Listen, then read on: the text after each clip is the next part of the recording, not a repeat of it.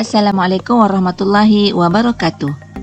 Rentetan kejayaan program Fun to School pada tahun 2021 membawa kegemilangan dan kejayaan bagi warga SK Jerantut.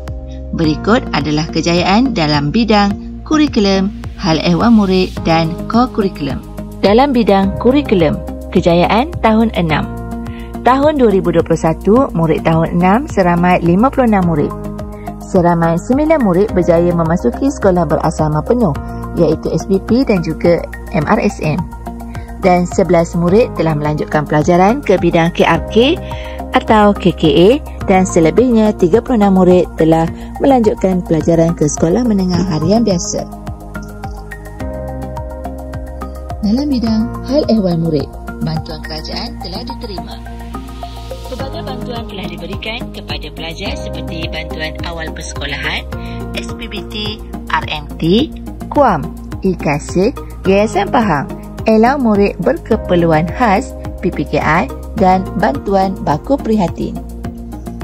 Dan jumlah murid Sekolah Kebangsaan Jerantut seramai 487 murid. Seterusnya dalam bidang co-curriculum. Berikut adalah kejayaan bagi suku tahun pertama tahun 2022. Kejohanan badminton peringkat Majlis Sukan-Sukan Daerah Jerantut. Johan perseorangan lelaki bawah 12 tahun, Darwish Nazrin bin Khairun Nizam. Beliau telah mewakili Jerantut ke peringkat negeri. Seterusnya, kejohanan Merintah Desa MSSD Jerantut mendapat tempat ketujuh lelaki iaitu Muhammad Toha bin Syaharuddin. Seterusnya, kejohanan olahraga peringkat Zon Damak bagi tahun 2022. Mendapat johan keseluruhan. Mendapat pingat emas dalam enam acara, pingat perak dalam tiga acara dan gangsa dalam satu acara. Olahragawati telah dianugerahkan kepada peserta daripada Sekolah Kebangsaan Jerantut iaitu Damia Iriani binti Nur Hafiz. Circuit Golf MSSP Pahang Penyertaan Nik Muhammad Daniel bin Nik Ruzailan. Seterusnya kejohanan jatuh MSSD Jerantut Tempat keempat lelaki bawah 12 tahun Muhammad Amir Faid bin Amiruddin. Tempat kelima lelaki bawah 12 tahun Muhammad Rais Rifai bin Muhammad Rizwan. Dan tempat ke-8 perempuan bawah 12 tahun Aisyah binti Kamarun. Dan salah seorang peserta telah mewakili Jerantut ke MSSP Pahang. Seterusnya, kejohanan bola baling MSSD Jerantut 2022 mendapat johan lelaki bawah 12 tahun.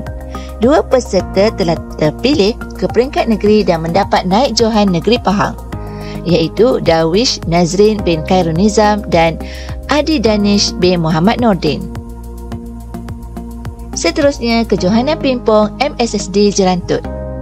Naik Johan, Darwish Nazrin bin Khairun Nizam dan tempat ketiga Adi Danish bin Muhammad Nordin. Kegemilangan seterusnya adalah kejohanan bola sepak Zon Damak. Sekolah Kebangsaan Jerantut telah mendapat naik Johan.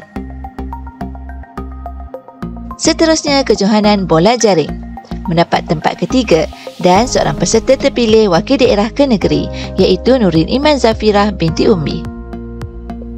Dan kejohanan olahraga MSSD Jerantut. Pendidikan khas mendapat kedudukan tempat kedua keseluruhan dan mendapat empat emas peserta terbaik lelaki sekolah rendah telah dianugerahkan kepada murid Sekolah Kebangsaan Jerantut Muhammad Amirul bin Muhammad Saiful Bakri dan seterusnya Akademi Al-Quran dan Maharajan Sekolah Rendah Daerah Jerantut. Tempat ketiga Da'i Cilik Perempuan iaitu Farah Wahida binti Ridwan. Tempat ketiga Tilawah Perempuan Nur Khaira Afifah binti Muhammad Nordin. Dan seterusnya Festival Kesenian Islam Sekolah Rendah Daerah Jerantut. Johan Hak Cyber Lelaki Muhammad Amir Faid bin Amiruddin Johan Hak Cyber Perempuan Nur Aina Batrisha binti Muhammad Dain Johan I Nyanyian Solo Kerohanian Naili Arisa binti Muhammad Raihan Naik Johan Hak Cyber Lelaki Muhammad Toha bin Saharudin Tempat ketiga Isajak Perempuan Husna Sajidah binti Muhammad Zuki dan tempat ketiga Isajak Lelaki Muhammad Adi Hadi bin Hazwan Arif. Yang terkini iaitu Karnival Ko-Akademik Bahasa Melayu Sekolah Rendah peringkat daerah Jerantut. Naib Johan bercerita tahap 1 Wano Faiha Aulia binti Wan Muhammad Faizal dan tempat ketiga Pidato Diraja Farah Wahida binti Ridwan. Tanah diucapkan kepada semua murid-murid sekolah kebangsaan Jerantuk yang telah berjaya mengharumkan nama sekolah.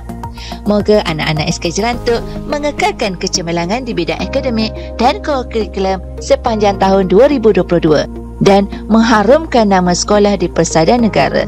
Kejayaan anda, kebanggaan kami warga SKJ. Sekian, terima kasih.